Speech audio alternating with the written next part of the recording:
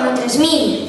E sabedes a que viñemos o ano 2018? Imposible que o saiban, Triago Mil. Vimos asinarvos un desfile de historia. Sí, volvestes a ir ben, un desfile histórico. Ensinaremosvos un pouco como foi a historia ao longo de todos estes anos e farémoslo coa axuda dos vosos contemporáneos do terceiro curso. Agora só tedes que facer tres cousiñas moi importantes. Sí, isto é obrigatorio. Paso número 1. Poñerse cómodos nos asentos. Paso número 2. Abrir ben os ollos. Paso número 3. E disfrutar. Adiante o desfile, rapaces.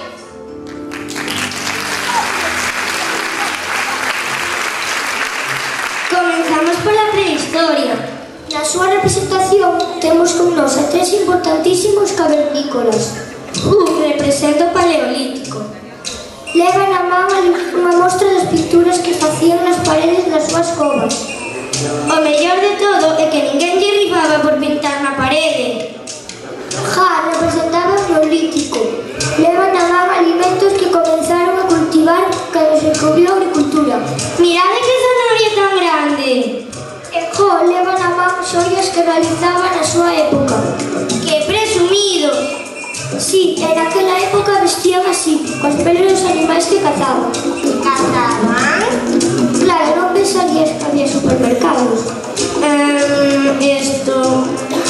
Non había troglogadis. Ti sí que son troglogades. Ben, rapaces, tomates nota de como se vivía na prehistoria? Eu si. Sí.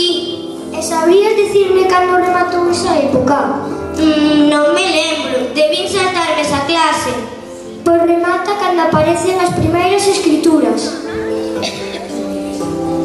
E sabedes que idade ven agora?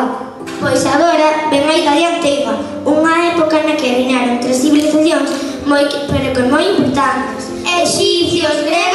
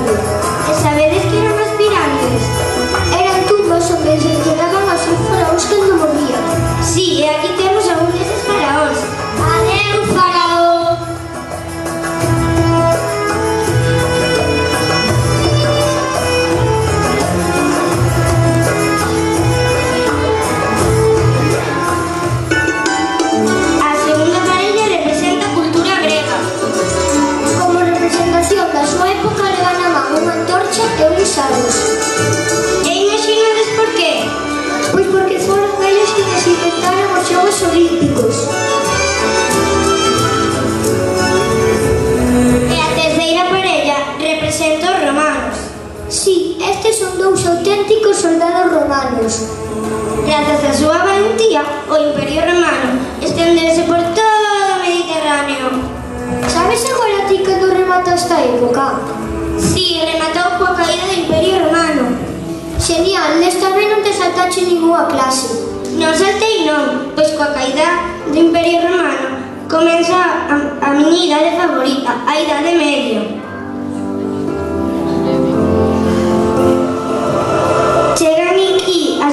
reflexións máis importantes da época.